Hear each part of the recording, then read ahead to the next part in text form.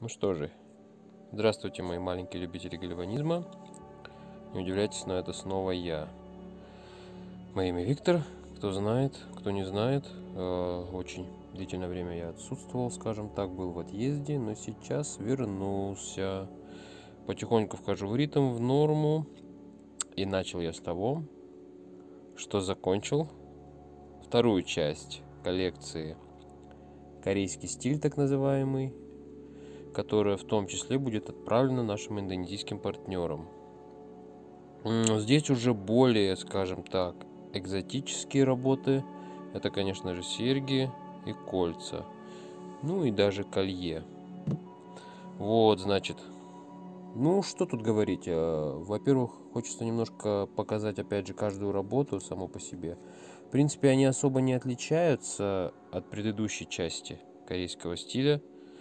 Но здесь немножко уже я позволил себе поэкспериментировать, ну и, так скажем, отдаться полностью чувству. Так сказать, вложить сюда еще и душу, а не только какие-то предложения, допустим, или пожелания. Ну, начнем по порядку. То есть, э, естественно, здесь уже применялась та самая гортензия, которую я покупал живым растением – она уже отцвела. Большая часть цветов пошла в работы. Вот, значит. Цветы у нее очень крупные, очень интересные. Прямо мне очень нравятся. А, как видно, работы получаются очень легенькие, не тяжелые, буквально несколько грамм. А, здесь у нас идет декоративное никелирование и радирование. Э, радирование, скажу откровенно, оно, так скажем, частичное, в том плане, что, ну, может быть, микрончик нанесен, но это и то просто для безопасности, потому что, зная, что многие на Западе боятся никеля как огня, тем не менее, я обработал никель родием и сверху уже декорировал поверхность как раз таки вот э, поталью это уже такая наша фишечка, которая довольно-таки хорошо прижилась. И здесь вот в данном случае, мне кажется, смотрится вполне выигрышно. Похоже и на позолоту, и на какую-то, опять же, декоративную фишечку. Но смотрится прекрасно. Вот не знаю, четко видно, не четко. Сейчас попробую приблизить. Не хочет почему-то камера фокусироваться здесь. Вот, в общем-то. Вот такие получаются серьги. Серьги на цепочках. Все как в Индонезии любят. А, вот такие вот простенькие с одной стороны гвоздики из скелетонов из скелетированных листьев это в принципе часть одного цельного листа была разделена и они были покрыты интересной патиной по серебру. То есть она в крапинку, не знаю, камера передает, не передает, но смотрится тоже очень интересно. А, сохранилась фактура и цвет, то есть видно, что это часть одного целого, но разделена на серьги. Дальше, вот такой вот интересный проектик. Здесь тоже на базе мемори проволока у нас. Но она покрыта металлом гальваническим точно так же. Используется натуральный жемчуг, также цветы гортензии и декорировано золотой пудрой. Швенды, извиняюсь, подвижные. Ну и в то же время э, серьги будут более подвижные, скажем так, на теле за счет вот этих швен. Швензы это новенькие, мы их еще не пробовали. Они очень гибкие, пластичные. Это не мемори проволока, это просто какая-то мягкая проволока, покрытая серебром. Но и можно придавать любую форму, в разумных пределах, естественно. То есть вот. Далее, далее. Ну, естественно, грех не показать кольцо. Индонезийцам очень оно понравилось. Я, в принципе, делал его, скажем так, для наших это уже, опять же, каланхоя, который я приобретал недавно. Каланхоя с жемчугом. Жемчуг, повторюсь, натуральный. И здесь листик какого-то неизвестного растения. Мне кажется, это даже был физалис. А шинка вот такая вот интересная. Давно я уже их э, хочу вводить, скажем так, в дело, именно в работы. Потому что оно очень-очень-очень шикарно сидит на любой форме пальца. И любой стороной, что характерно. Вот это мне тоже, лично мне очень нравится. То есть можно на любой палец и любой стороной носить. Это всегда будет удобно. Так, значит, что у нас дальше?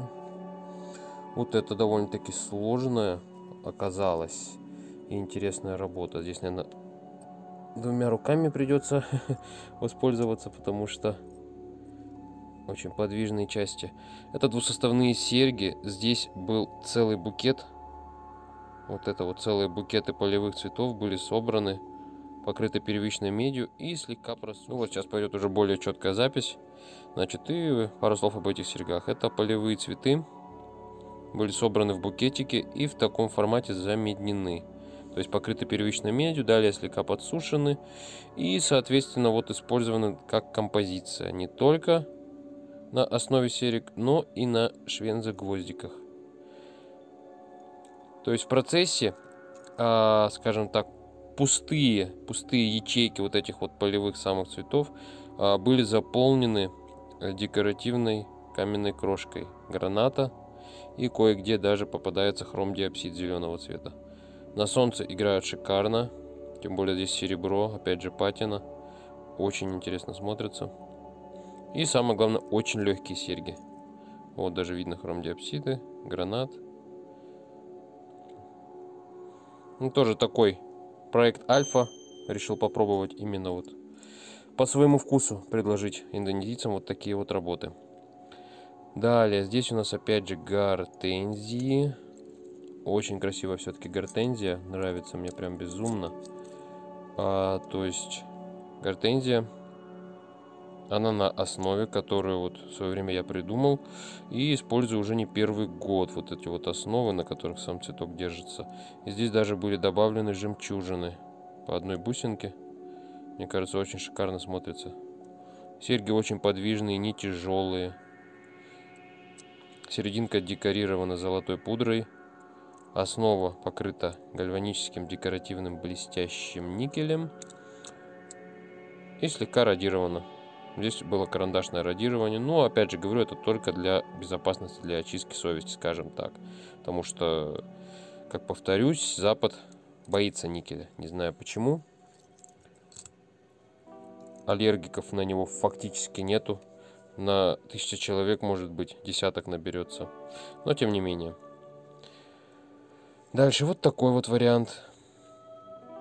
Это идет основа и по три листика сирени. Покрыто все серебром и декорировано патиной вот такой вот крапчатой. Тоже здесь позволил себе немножко поэкспериментировать, стало интересно. Как это и что это. Очень легкие и, конечно же, прочные. Далее, вот тоже очень интересные серьги, тоже такая, скажем, сборная композиционная работа. Момент.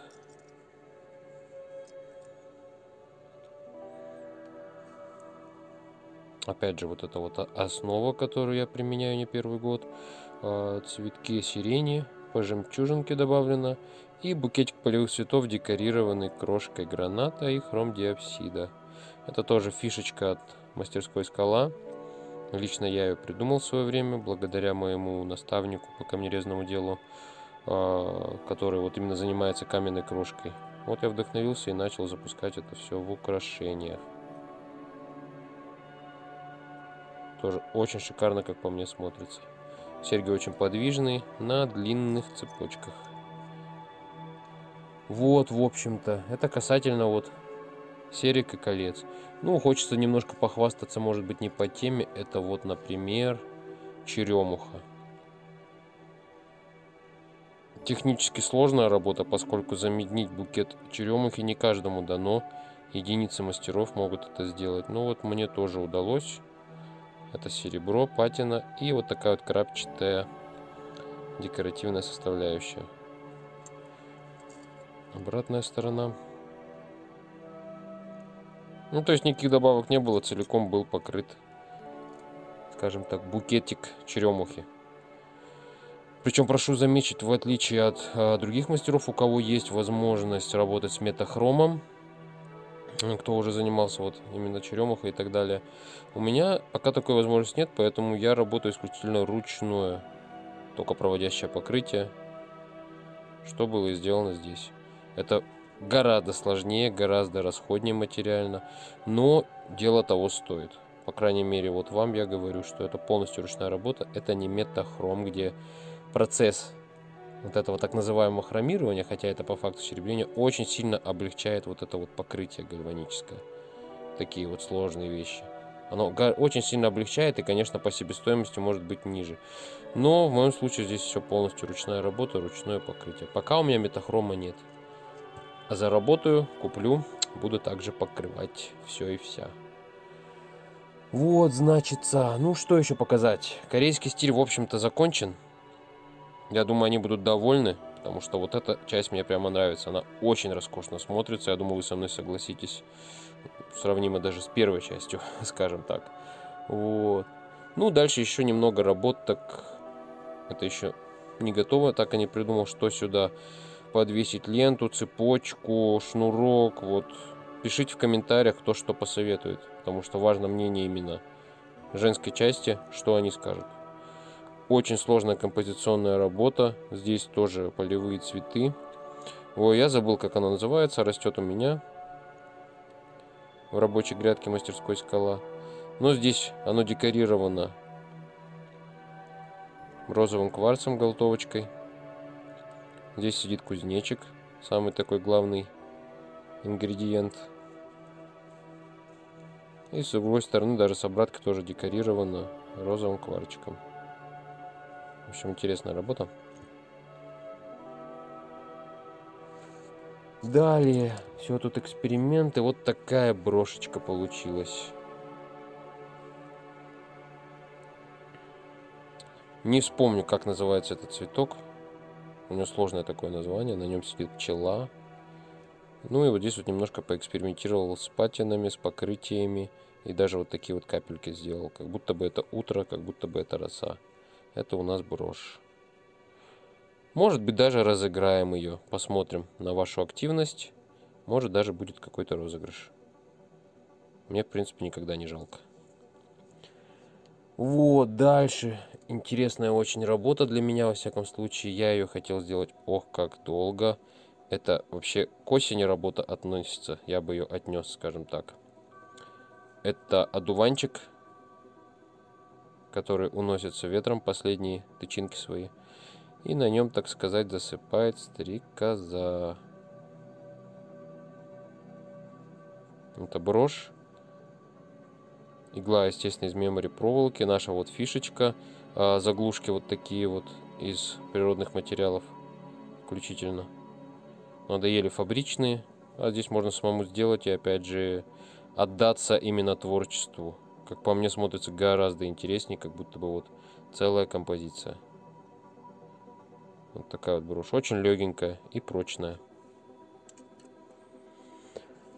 А дальше серьги из соцветий лилий нераскрытых. Вот такие вот серечки. Тоже крапчатая патина по серебру.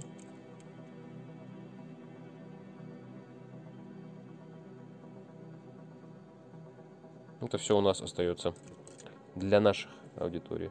А, естественно, не забываю про заказы, про заявки, потому что, несмотря на обилие работы, на мой отъезд, тем не менее, вот такой вот браслет был заказан. Крапчатая тоже патина, серебро, натуральная веточка березы. Также была покрыта декоративным слоем гальванических металлов.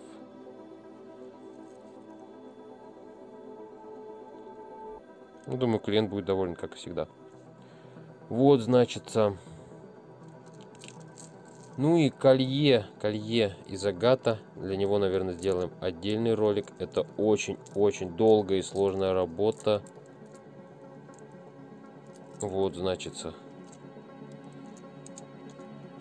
Мы уже делали два раза подобное колье. Вот, в общем-то, сейчас сделалось третий раз. Он, как видно, декорирован маленькими листиками клена. Ну, естественно, это не настоящие листья, но, тем не менее, очень интересно смотрится. Декоративное латунирование, патина, воскование, восковая защита. Колье, конечно же, не на каждый день. Это именно на повод, на случай и так далее. Вот, здесь у нас бразильский агат. Очень сложный камень в распиловке. Как по мне, даже тяжелее пилиться, чем яшма. Поэтому я с ним, как и, в общем-то, в нашей традиции, особо не заморачивался. Распилил, обработал, приполировал и задекорировал металлическим слоем. Вот, в общем-то, вот так вот. Но это мы увидим в следующем ролике. Что касается колье вот этого агатового и так далее.